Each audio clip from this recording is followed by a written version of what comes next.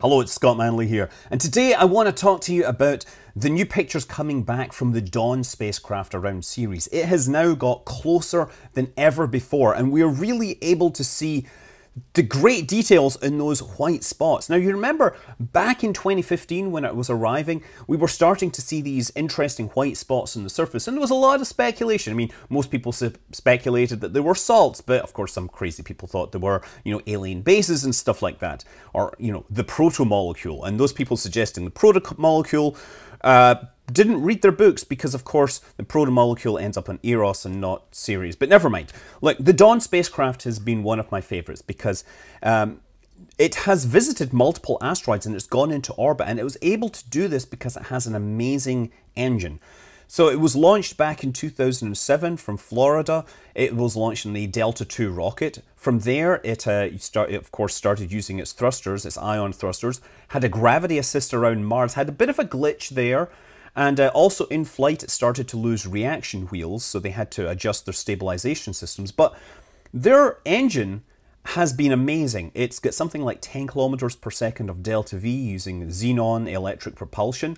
The uh, the thrusters actually gimbal a little so they can adjust for uh, changes in the center of mass in the spacecraft. And then after they started to lose reaction wheels, they were able to use that to keep the air the spacecraft stable. So, you know, it's got a lot of this, and so it's also been the only mission that has been able to visit multiple asteroids and go into orbit. Previous multi-target missions have essentially had to um, had to do just fly past because the delta V for a, um, an actual orbit is a whole lot higher. So yeah, the, in, in total, the engine has run for something like six years continuous thrust, which is you know unheard of at this point. So the latest changes, it had been sitting in orbit around Ceres since uh, June 2017.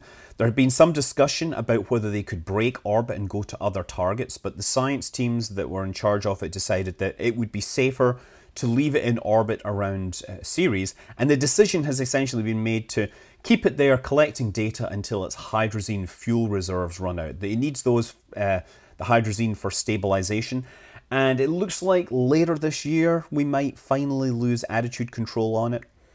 Anyway, yeah, been sitting there in sitting with its engine doing nothing since June 2017. It relit the engine to adjust its orbit in April, brought itself into a highly elliptical orbit, and then in May it went even lower, and now it's basically in an elliptical orbit that brings it within 35 kilometers off the surface. And that is why we can get these amazing images. So these bright spots, uh, when look close, it looks more like snowfall. Uh, these are from the Occator crater, which is one of the more prominent uh, craters. Uh, it's not well, it's not the only place where these white spots exist. They're all over the place, and there's various uh, locations, various mechanics. But it's now believed, based on evidence, that these are sodium carbonate deposits. And the way this happens is you have water underneath the surface that is flowing towards the surface over time. They bring up hydrated salts, and then the water essentially evaporates away over time, leaving behind these white deposits. And in this case, since it's in the middle of the crater, it's very likely that the impact has adjusted the geology in such a way that the, it encouraged water upwelling. Uh, there's actually other places on the surface where where we have where we see these. There's a really good example of a cryovolcano. It's called Ahuna Mons, and Ahuna is a um, a harvest festival in India, which of course feeds into the whole mythology of the name Ceres. Ceres was also related to the harvest.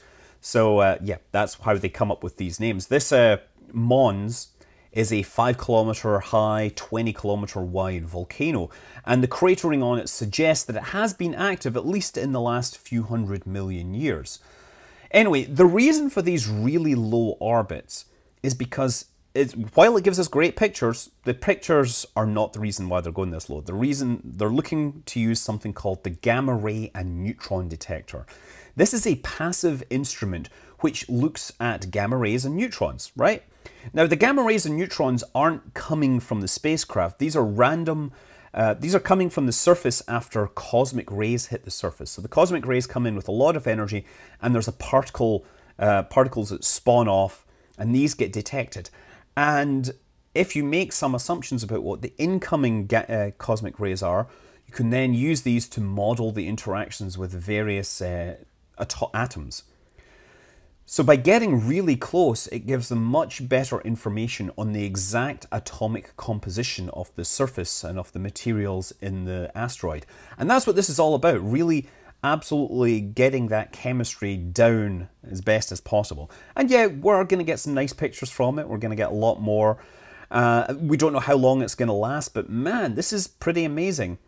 Uh, Ceres has been one of the best studied objects in a very long time, and I'm continuing to look forward to new surprises that we expect over the coming years, and of course, uh, even after the you know, spacecraft stops, it will no doubt be delivering, will no doubt be getting new insights from the data that it has delivered.